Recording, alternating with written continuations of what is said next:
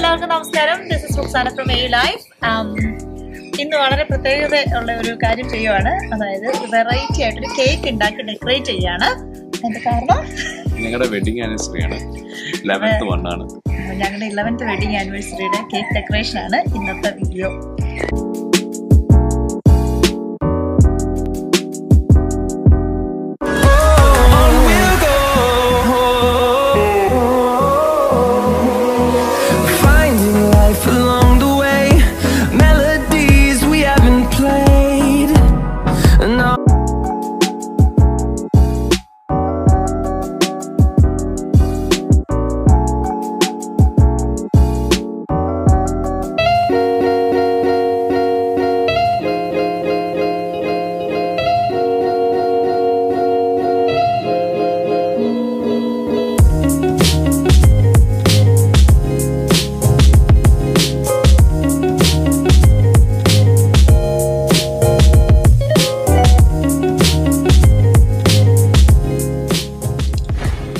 Already bake ചെയ്ത് വെച്ചിട്ടുണ്ടായിരുന്നു. അപ്പം കാരണം അതും കൂടി എടുക്കണ്ടല്ലോ. നമ്മൾ കേക്ക് ബേക്ക് ചെയ്യുന്നതിന്റെ വീഡിയോസ് ഒക്കെ നേരത്തെ ഇട്ടിട്ടുണ്ട്.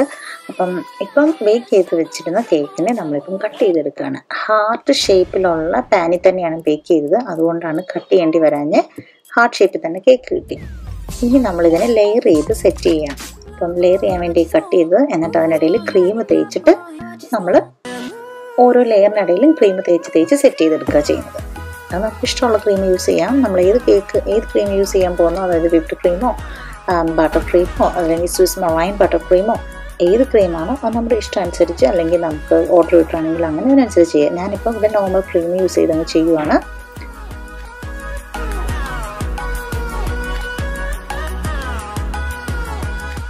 നമ്മൾ എല്ലാ വശത്തും ക്രീം എല്ലാം തേച്ച് കഴിഞ്ഞിട്ട് ഇനി ഇത് സെറ്റ് ചെയ്യാൻ വേണ്ടി വെക്കണം. അപ്പം ഫ്രിഡ്ജിൽ ഒരു ഹാഫ് ആൻ അവർ വെക്കാം ഇനി ഞാനിവിടെ ഡെക്കറേറ്റ് ചെയ്യാൻ വേണ്ടി യൂസ് ചെയ്തിരുന്ന കളർ എന്ന് പറഞ്ഞാൽ പിങ്കും പർപ്പിളിന്റെയും കൂടി കോമ്പിനേഷൻ അത് രണ്ടും കൂടി മിക്സ് ചെയ്തിട്ടാണ് ഞാൻ കളർ മിക്സ് ചെയ്ത്. ഇനിയുള്ളതെല്ലാം നമ്മൾ ഈ കളർ മിക്സ് ചെയ്തതായി സെറ്റ് ചെയ്യുന്നത്.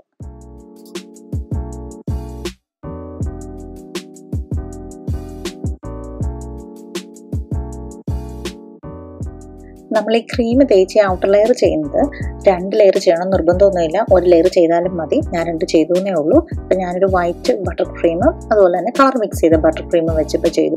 അപ്പം നിർബന്ധമില്ല കേട്ടോ. നോ കമ്പൽഷൻ ഫോർ ദിസ്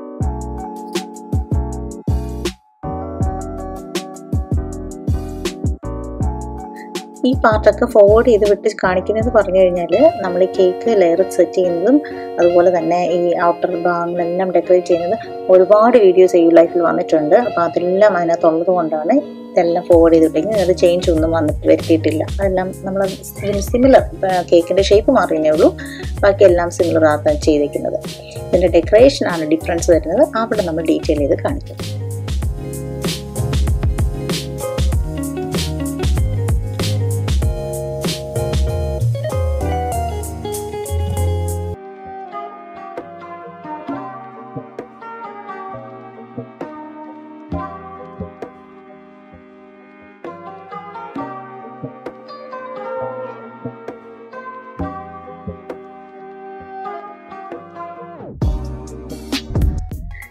ഇനി നമ്മൾ ഇത് വീവ് ചെയ്തെടുക്കുകയാണ്. അതായത് ബാസ്ക്കറ്റ് ഒക്കെ നെയ്തെടുക്കുക എന്ന് പറയുക അപ്പോൾ ആ ഒരു ടെക്നിക്കാണ് നമുക്ക് ഇവിടെ ചെയ്ത് കിട്ടേണ്ടത്. അതിന് നമ്മൾ ഇന്റർലോക്ക് ചെയ്യുന്ന പോലെ ഇത് ഇങ്ങനെ ഡെക്കറേറ്റ് ചെയ്തെടുക്കണം. അപ്പോൾ അതിന് സ്ട്രെയിറ്റ് ലൈൻ മേളിലേക്ക് വരച്ചിട്ട് നമ്മൾ ഓൾട്ടർനേറ്റ് ആയിട്ട് ദയിപ്പേ കാണുന്ന പോലെ നമ്മൾ ക്രോസ് ആയിട്ട് ഓൾട്ടർനേറ്റ് ചെയ്ത് ചെയ്തെടുക്കുക. എന്നിട്ട് ഈ സെയിം ടെക്നിക്ക് ഇങ്ങനെ കണ്ടിന്യൂ ചെയ്ത് ചെയ്യുക. നമ്മൾ ത്രൂ ഔട്ട് ഈ ഫുൾ കേക്കിന്റെ ഡെക്കറേഷന്റെ ലെയർ ഔട്ടർ ലെയർ ഇങ്ങനെയാണ് നമ്മൾ ചെയ്യുന്നത്. ഇനി നമുക്ക് കേക്കിന്റെ ടോപ്പ് പോർഷനിലെ ഒരു ഹാഫ് മാത്രമേ നമ്മൾ ഡെക്കറേറ്റ് ചെയ്യുന്നുള്ളൂ. ഒരു ഹാഫ് ഡെക്കറേറ്റ് ചെയ്യുന്നതെന്ന് വെച്ചാൽ സെന്ററിൽ ഒരു ലൈൻ കൊടുക്കുക. എന്നിട്ട് ഇതുപോലെ ചെയ്ത് നമ്മൾ എങ്ങനെയാണ് ഇപ്പം വീവ് ചെയ്ത് ബാക്കി പോർഷൻ എടുക്കുക? അതേപോലെ വീവ് ചെയ്തെടുക്കുക. ആ ഒരു ഹാഫ്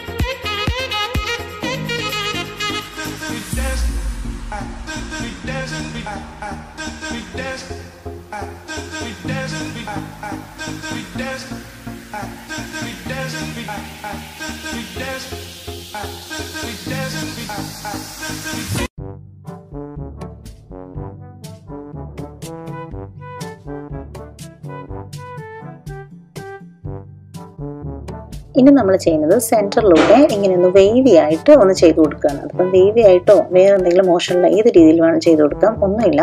നമുക്കിവിടെ ഒരു ഹാർട്ടിന്റെ ഒരു ഷേപ്പ് വെക്കണം അത് വെക്കാൻ വേണ്ടിയിട്ട് ഒരു ബേസ് ഉണ്ടാക്കി കൊടുക്കുക ചെയ്തത്.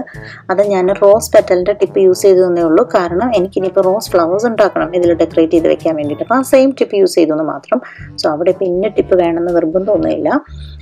അപ്പം ഞാനത് യൂസ് ചെയ്തിട്ട് ഇങ്ങനെ നമുക്കിത് ഇങ്ങനെ വെക്കാൻ വേണ്ടിയിട്ട്. ഇത് ഞാനൊരു കാർഡ്ബോർഡ് പീസ് കട്ട് ചെയ്തെടുത്ത് നമ്മൾ കാർഡ്ബോർഡ് പീസ് പീസ് കട്ട് ചെയ്തിട്ട് ഹാർട്ട് ഷേപ്പിൽ ഈ കേക്ക് ടിന്നിന്റെ തന്നെ ഷേപ്പിൽ ആ അളവിലും കട്ട് ചെയ്തെടുത്ത് കഴിയുമ്പോൾ നമുക്ക് കറക്റ്റ് കേക്കിന്റെ സൈസിൽ തന്നെ കിട്ടും. അപ്പോൾ അങ്ങനെ കട്ട് ചെയ്തെടുത്ത ഒരു സംഭവമാണ് ഇപ്പം വെച്ചേക്കുന്നത്.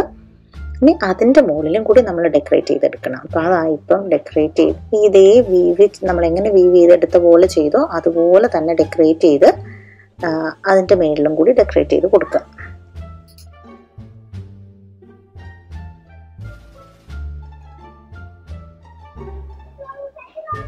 ഇനി ഒരു കാര്യം ശ്രദ്ധിക്കാനുള്ളതെന്ന് പറഞ്ഞാൽ നമ്മൾ ഇതിന്റെ മുകളിലേക്ക് ഇങ്ങനെ ഡെക്കറേറ്റ് ചെയ്യുമ്പം നമ്മുടെ ഈ ഐസിങ്ങിന്റെ ഈ ബട്ടർ ക്രീമിന്റെ ഒക്കെ വെയിറ്റ് കാരണം ഇത് താഴേക്ക് പോകുന്ന പോലെ ഫീൽ ചെയ്യാം. അപ്പം അങ്ങനെ തോന്നുന്നുണ്ടെങ്കിൽ അങ്ങനെ വരികയാണെങ്കിൽ എന്നാ ചെയ്യേണ്ടതെന്ന് പറഞ്ഞു കഴിഞ്ഞാൽ ടൂത്ത് പിക്ക് ഉണ്ടെങ്കിൽ അത് നമ്മുടെ കേക്കിനടിയിലേക്ക് ഈ ഇരിക്കുന്ന പാർട്ടിന്റെ അകത്തേക്ക് ടൂത്ത് പിക്ക് കുത്തി വെച്ച് കഴിയുമ്പം ഇതിങ്ങനെ നന്നായിട്ട് ഹോൾഡപ്പ് ചെയ്ത് നിൽക്കും. അപ്പം നമുക്ക് ഫ്ലവേഴ്സ് ഇതിന്റെ അകത്ത് ഇരിക്കുന്നത് നന്നായിട്ട് കാണാനും പറ്റും. ഇപ്പം ദേ ഇത് കണ്ടില്ല ഇതിങ്ങനെ താഴേക്ക് വെയിറ്റ് കൊണ്ട് പോകുന്നുണ്ട്. അപ്പം ഞാൻ എന്നാ ചെയ്തതെന്ന് പറഞ്ഞു കഴിഞ്ഞാൽ ദേ ടൂത്ത് പിക്ക് കുത്തി വെച്ചു അതിനകത്തേക്ക്. ആ പോർഷൻ വീഡിയോയിൽ എടുക്കാൻ വിട്ടുപോയി. അതുകൊണ്ട് ഡീറ്റെയിൽ ചെയ്ത് പറയുന്നത് നമുക്ക് ഇപ്പം കാണാൻ പറ്റുന്നുണ്ടല്ലോ. അത് ജസ്റ്റ് ചെറുതായിട്ട് അങ്ങനെ കുത്തി വെച്ച് കഴിയുമ്പോൾ അതവിടെ ഇരുന്നോളൂ. കേക്ക് സ്റ്റെബിലൈസിങ് സ്റ്റിക്ക് യൂസ് ചെയ്തിട്ട് അത് വെച്ചാലും മതി.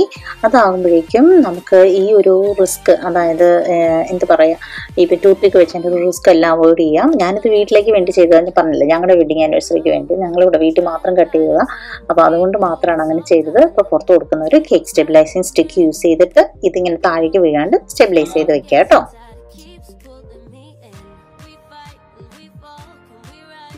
ദൈവി കാണുന്ന പോലെ നമ്മളിങ്ങനെ ഓരോ റോസസ് ആയിട്ട് ഉണ്ടാക്കിയിട്ട് അതിലേക്ക് കേക്കിലേക്ക് ട്രാൻസ്ഫർ ചെയ്ത് വെക്കുക. അപ്പം നമ്മളൊരു ഫസ്റ്റ് ഹാഫ് നമ്മൾ സെയിം വീവിങ് വെച്ചും ചെയ്യും. സെക്കൻഡ് ഹാഫ് ഹാർട്ടിന്റെ നമ്മൾ ഫുള്ള് ഫ്ലവേഴ്സ് ചെയ്യും.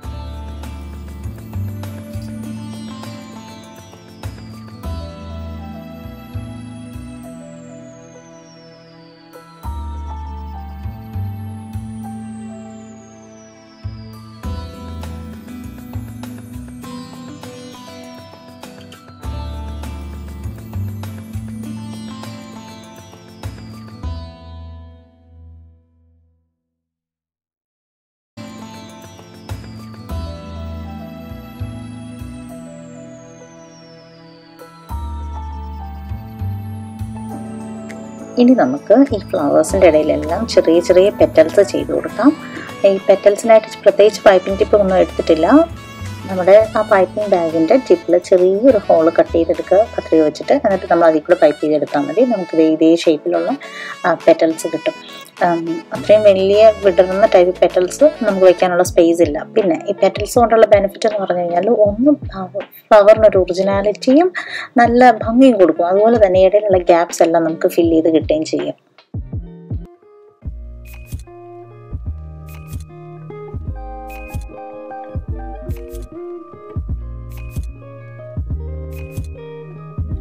ഈ കേക്ക് കണ്ടിട്ട് പുറത്തുനിന്നൊരു ഓർഡർ കിട്ടിയായിരുന്നു സിമിലർ കേക്കിന് അപ്പോൾ ആ കേക്കിനകത്ത് ഞാൻ സ്വിസ് മറൈൻ ബട്ടർ ക്രീം വെച്ചായിരുന്നു ഡെക്കറേറ്റ് ചെയ്തത് ഫുള്ള് ഈ വീവിങ് ചെയ്ത ആ പോർഷനും ഫ്ലവേഴ്സും മൊത്തത്തിൽ അതേസമയം ഇതിന്റെ അകത്ത് നോർമൽ ബട്ടർ ക്രീമാണ് യൂസ് ചെയ്തിരിക്കുന്നത് ഫ്ലവറിന് മാത്രമേ Swiss meringue butter cream use ചെയ്തിട്ടുള്ളൂ. അപ്പം അതിന്റെതായ ഡിഫറൻസ് ഉണ്ട്. സ്വിസ് മറൈൻ ബട്ടർ ക്രീം എന്ന് പറയുമ്പോൾ നമുക്ക് നല്ല ഗ്ലോസി ഫിനിഷ് കിട്ടും. ബട്ടർ ക്രീമിന് അത്രയും ഗ്ലോസി ഫിനിഷ് കിട്ടാറില്ല. അപ്പം അതുകൊണ്ട് ആ രണ്ട് വീഡിയോസിനകത്തും ഡിഫറൻസ് ഉണ്ട്. അപ്പം ഞാൻ തുടക്കത്തിൽ നമ്മൾ ആ ഒരു വീഡിയോ കേക്ക് റൊട്ടേറ്റ് ചെയ്യുന്ന കാണിച്ചത് സത്യ സ്വിസ് മറൈൻ ബട്ടർ ക്രീം വെച്ച് ചെയ്ത കേക്കാണ് ഇത് നോർമൽ ബട്ടർ ക്രീം അപ്പം വീഡിയോ ഫുൾ റെക്കോർഡിംഗ് എടുത്തത് ട്യൂട്ടോറിയലായിട്ട് വീഡിയോ എടുത്തത് നമ്മൾ ഇതിന്റെയാണ് നോർമൽ ബട്ടർ ക്രീമിന്റെയാണ് പക്ഷേ തുടക്കത്തിലും അവസാനത്തിലും ഞാൻ ആ സ്വിസ് മറൈൻ ബട്ടർ ക്രീമിന്റെ ആ കേക്കും കൂടി ഞാൻ ഇട്ടിട്ടുണ്ട്. അപ്പം നിങ്ങൾക്ക് ആ ഡിഫറൻസ് നന്നായിട്ട് കാണാൻ പറ്റും. ഇപ്പം സ്റ്റാർ നോസൽ പൈപ്പിംഗ് ടിപ്പ് ആ നോസലാണ് ഇപ്പം യൂസ് ചെയ്തിരിക്കുന്നത്. അപ്പം എന്നിട്ട് നമ്മളിങ്ങനെ വേവ് ചെയ്ത് പോലെ ചെയ്തെടുക്കരുത് സ്റ്റാർ നിങ്ങൾക്ക് വേറെ വന്ന ഡിസൈനെങ്കിലും ഇങ്ങനെ ഒരു ബോർഡർ ആയിട്ട് കൊടുക്കണമെങ്കിൽ അത് കൊടുക്കുക. അപ്പോൾ അതിനനുസരിച്ച് ടിപ്പ് മാറ്റിയെടുക്കുക. ഇത് സ്റ്റാർ ആയിട്ട് ഇവിടെ യൂസ് ചെയ്തിരിക്കുന്നത്. അതിന്റെ സെയിം റോസ് ചെയ്ത് സെയിം കളറും